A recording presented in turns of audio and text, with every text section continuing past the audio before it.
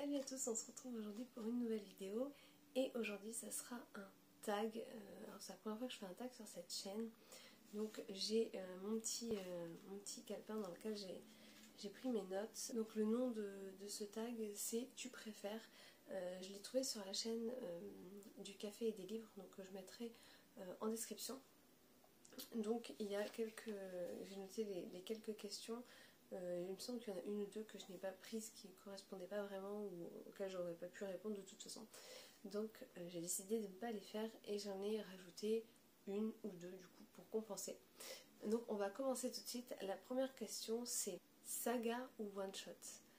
Euh, Donc là en fait c'est un peu c'est un peu paradoxal parce qu'en fait je pense que je préfère les sagas parce que j'aime bien en fait, si je tombe sur un personnage que j'aime bien, j'ai hâte en fait de le retrouver. Je suis un peu déçue quand c'est un one shot. Euh, mais au niveau, euh, au niveau de la durée, on va dire, euh, c'est vrai qu'il y a la satisfaction quand tu as fini un one shot de, bah, fait, d'avoir toute l'histoire. donc je dirais un peu les deux. Maintenant, je sais que je suis pas une grande fan des très longues Sarah, des très longues sagas, mis à part Harry Potter. Mais, euh, mais c'est vrai que sinon, je préfère euh, les, les, duologies ou trilogies. Pour moi, c'est ce qui me correspond le plus. Euh, maintenant, ça dépend, ça dépend évidemment des personnages et de, et de l'histoire. Ensuite, donc la seconde question, c'est auteur féminin ou masculin. Et alors là, je dirais sans hésiter, peu importe. en fait, à vrai dire, j'ai lu de très bons livres avec des auteurs écrits, donc des, très bons livres écrits par des auteurs masculins et féminins. Donc moi ça n'a aucune importance en fait dans mon, dans mon style de lecture. Euh, la seule chose qui pourrait me faire choisir euh, plus un auteur masculin ou féminin, euh, c'est simplement pendant les challenges. Des fois, voilà, il y, y, a des catégories où il faut faire entrer un auteur féminin, une autrice pour le coup, dans la pile à lire mais c'est strictement la seule chose, sinon tout le reste pour moi c'est ça n'a vraiment aucune importance. Donc la question suivante, le dilemme suivant c'est lire 5 pages par jour ou alors 5 livres par semaine. Donc là catégoriquement je préfère lire 5 livres par semaine. Euh, bon même si euh, clairement avec mon rythme de lecture ce n'est pas possible. 5 euh, pages par jour ça veut dire qu'un livre de 500 pages euh, je lis en, plusieurs mois, enfin c'est pas possible euh, pour moi, donc je préfère largement euh, lire 5 livres par semaine si je pouvais, bien sûr. Ensuite, devenir chroniqueur ou écrivain, eh bien, en fait, dans les deux propositions, il y a du plus et il y a du moins. Enfin, en fait, j'aimerais beaucoup, j'aimerais beaucoup écrire un, livre, mais je, ne sais pas si, euh, si en fait j'aurais la, rigueur pour me, poser tous les jours parce que je pense que c'est vraiment une habitude qu'il faut prendre en fait d'écrire pour, euh, pour trouver sa plume etc. Et euh, en tout cas pour l'instant je pense que, que pour moi ça serait un petit peu compliqué. au chroniqueur je, je, je, sais pas en fait je pense pour l'instant ni l'un ni l'autre et plus tard ça pourrait être à la fois l'un et l'autre mais euh, pour l'instant, j'arrive pas trop à me projeter en fait, euh, que ce soit pour l'un ou pour l'autre. Ensuite on, nous, ensuite, on nous laisse le choix entre euh, relire les 20 livres préférés ou alors ne lire que des nouveaux livres. Et là, une fois de plus, je vais dire catégoriquement lire que des nouveaux livres. Tout simplement parce que je ne relis pas mes livres. il me semble que c'est arrivé une fois ah bah, avec les Harry Potter. Euh, parce que je l'avais déjà lu aux, éditions Gallimard et euh, Gallimard il me semble. Et du coup euh, je l'ai relis aux éditions Minalima mais là c'est quand même différent parce qu'il y a tout un travail éditorial supplémentaire qu'il n'y a pas dans, dans, dans ceux que j'ai lus en premier. Mais sinon d'un point de vue général je ne relis pas mes livres. Donc je dirais sans hésiter lire que des nouveaux livres. Ensuite donc le dilemme suivant c'est papier ou e-book. Et là on va dire 95% papier. Euh, déjà parce que j'arrive pas en fait à, passer au format e-book. Euh, j'ai pas de liseuse et du coup j'avais lu un petit peu sur tablette mais c'est complètement différent, c'est pas du tout agréable pour l'œil. Euh, donc je dirais pour l'instant 100% papier. En plus, j'aime vraiment toucher les, différents types de papier. Ma soeur se, moque un peu de moi, mais j'aime beaucoup sentir aussi le papier des nouveaux livres. Et, et, du coup, je dirais, rien que pour tout ça, papier. Maintenant, je ne suis pas fermée à la lecture sur liseuse. D'ailleurs, je me suis renseignée un petit peu sur les liseuses parce que j'envisage éventuellement d'investir dans une liseuse pour euh, ben, quand je serai en déplacement ou quand je pars en vacances, éviter d'avoir 5-6 euh, livres dans le sac ou dans la valise. Je trouve que c'est vrai beaucoup plus pratique. Ensuite, on nous laisse le choix entre livres adaptés en série ou en film. Euh, une fois de plus, pareil, j'ai pas forcément de préférence, si ce n'est que je regarde. Alors, jusqu'à maintenant, je regardais plus de séries que de films. Maintenant, ça commence un petit peu à, changer. Mais je dirais que en fait, le format série, c'est plus simple, parce qu'on peut mettre un épisode par-ci, un épisode par-là, ça fait pas des, gros, euh, des grosses sessions de, visionnage.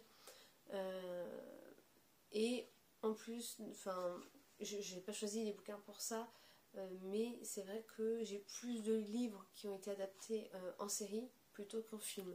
Donc pour ça, voilà, je dirais, série. Maintenant, euh, si, euh, le livre me plaît, en fait, bah, ça m'est égal qu'il soit adapté en film ou en série, peu importe. Euh, si j'aime le livre, je, le lirai dans tous les cas. Les deux questions suivantes sont plutôt faciles pour moi. Donc la suivante c'est brochet ou poche? Et donc là, bah, en fait, brochet. Jusqu'à maintenant, j'achetais toujours mes livres au format brochet. maintenant, j'arrive un peu plus à, à, accepter les formats poche. Non pas que je les, je les refusais, mais c'est vrai que c'était plus simple. Enfin, pour moi, je trouvais que l'objet libre était beaucoup plus, beau en fait en brochet. Maintenant, c'est vrai qu'il y a le côté pratique et euh, j'emmène toujours un livre en fait dans mon sac. Donc c'est vrai que d'avoir un livre au format poche, c'est beaucoup plus simple. Et puis euh, au-delà de ça, dans la, dans la bibliothèque, euh, bah, ça prend beaucoup moins de place et c'est vrai que les formats poche, on peut les mettre sur, sur deux en fait enfin sur une étagère on peut mettre deux rangs de format poche. Euh, donc c'est vrai que ça prend moins de place dans la bibli. Et, euh, et puis bah, en fait c'est tout aussi joli et puis ça coûte moins cher. Euh, donc en fait à partir de maintenant toutes les sagas que j'ai commencé je les termine en brochet. Et puis bah, en fait ceux qui, sont, qui existent, que je veux lire, qui existent déjà au format poche, je vais les prendre au format poche. mais c'est vrai que après, si c'est sur euh, du livre d'occasion, du Vinted, au final, euh, bah, le format brochet, euh, souvent on le trouve au même prix qu'un poche dans le commerce, donc je privilégie le, brochet. Mais c'est vrai que si je dois acheter, comparer sur du neuf, si le, livre existe en brochet et en poche, du coup je vais plus passer sur du poche. Pour le suivant, c'est corner la page ou utiliser un marque-page. Donc là, bah, 200% utiliser un marque-page. Euh, je, en fait, j'arrive pas à corner mes pages, surtout que les marque-pages. Euh, bon, alors c'est pas toujours des marque-pages, j'ai plein de marque-pages, mais c'est vrai que c'est souvent un petit papier qui traîne ou un post-it. Mais, euh, mais j'ai beaucoup de mal à corner les pages, et puis je me dis également que si jamais je veux revendre ou prêter mon bouquin, et bien du coup ça sera beaucoup plus simple de, le revendre avec des pages qui sont, qui sont nickel. Donc sans hésiter, marque-page. Euh, lire un seul livre ou plusieurs à la fois. Euh, alors je peux lire plusieurs livres à la fois. Euh, si, alors je peux en lire deux maximum si ce sont des styles complètement différents. maintenant j'ai une tendance, je préfère quand même commencer un livre, le terminer et en commencer un autre parce que bah, en fait j'ai souvent quand je commence un livre j'ai envie de savoir le fin mot de l'histoire et, je trouve ça plus, plus simple en fait euh, voilà de, de, commencer un livre, de le terminer, d'en commencer un autre. Maintenant si je vois que je me lasse du livre que je suis en train de lire ou que j'ai besoin de, lire autre chose, ça ne me dérange absolument pas d'en entamer un deuxième et puis d'alterner en fait la lecture mais pour le coup il faut vraiment que ce soit des styles complètement différents. Euh, dévorer une saga ou bien espacer la lecture. Euh, espacer la lecture. Alors pas forcément énormément de temps, mais c'est vrai que j'ai déjà essayé de d'enfiler en fait des tomes de, saga et euh, je l'avais fait avec Grisha et pourtant c'est vraiment une saga que j'ai adorée. J'avais beaucoup aimé le tome 1, ça se finissait. Voilà, on a vraiment envie de savoir la suite, donc j'avais commencé le tome 2 directement. Et au final, c'est vrai que j'ai mis un peu de temps. Au bout d'un moment, je me suis un peu lassée de. Alors, pas de l'histoire, mais d'être toujours dans le même univers. Et euh, j'ai eu besoin de, comme je disais avant, en fait, de changer un petit peu d'univers. Mais, euh, mais c'est vrai que j'aime bien en fait savoir que bah, j'enchaîne les tomes et que bah, je vais, euh, j'avance bien en fait dans la saga. Et euh, il y a un côté satisfaisant en fait quand tu termines une saga, euh, voilà, tu, te dis que bah, tu, ça traîne pas en fait dans ta palle. Et, voilà, donc j'aime bien, j'aime bien les enchaîner, mais pas vraiment, pas vraiment l'un après l'autre, mais les espacer par exemple d'une lecture. Après, ça m'arrive aussi de les espacer d'un an. C'est le cas avec la passe miroir où, où, j'en lis à peu près un par an. Euh, sauf cette année où j'ai même pas j'ai pas j'ai pas lu le tome 3 il est dans il est dans euh, mes lectures futures. Dans mes prochaines lectures mais c'est vrai que cette année je l'ai un peu plus espacé. Donc en fait ça dépend vraiment. Je suis euh, je suis mes envies de lecture. Et je me mets pas vraiment de pression par rapport au, tome des sagas à enchaîner pour l'avant-dernière il s'agit de acheter ou emprunter euh, en fait, ça ne me dérange pas d'emprunter, mais souvent quand on emprunte, il y, a un, il y a un temps. Alors, moi je parle d'emprunter par exemple à la médiathèque, euh, il y a un temps de prêt. Euh, et au final, c'est vrai que j'aime bien avoir un livre. Je vais voir un livre, je vais avoir envie de l'avoir, et puis des fois, je vais pas avoir envie de le lire tout de suite. Et pour le coup, mais c'est pas forcément quelque chose qu'on peut faire quand on emprunte un livre, un livre à la médiathèque ou même à quelqu'un qui en a besoin, qui a besoin de le récupérer euh, trois semaines plus tard. Euh, donc c'est pour ça que je préfère les acheter et puis les avoir. Et euh, aussi parce que je me dis que si jamais je renverse quelque chose dessus ou quoi, bah en fait ça m'embête d'abîmer le livre de quelqu'un. Donc je préfère que ce soit, ce soit mon livre. Mais, mais je suis pas fermée non plus à ça. C'est-à-dire que s'il y a un, tome ou un livre que je ne trouve pas, ben, je, peux aller voir la médiathèque, ça va me rebuter pour commencer une saga par exemple. Et euh, la dernière euh, que j'ai rajoutée, il s'agit de neuf ou occasion. Euh, pendant très longtemps, je n'achetais que du neuf. que du neuf, que ce soit en brochet ou en poche. Et c'est un sacré budget. Quand on voit des livres, alors les, ça va des, 7-8 euros pour 6 euros même pour les, pour les poches.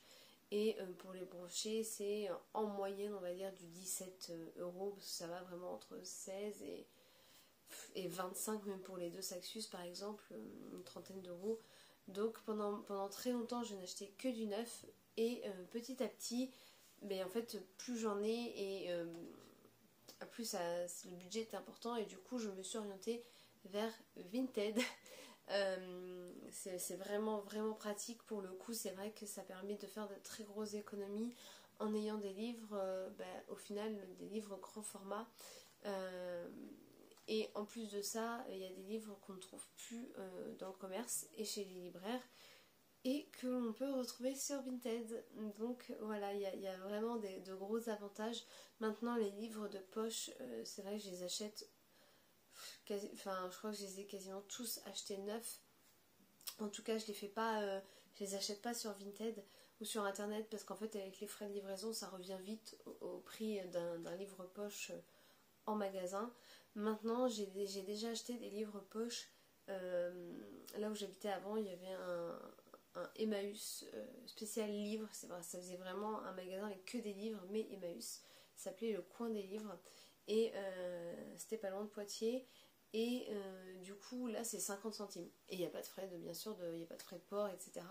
Donc, ça vaut vraiment le coup. Donc là, oui, je, prenais des, poches. Mais sinon, c'est vrai que j'ai toujours, euh, toujours pris sur Vinted des grands formats euh, et, et des hardbacks.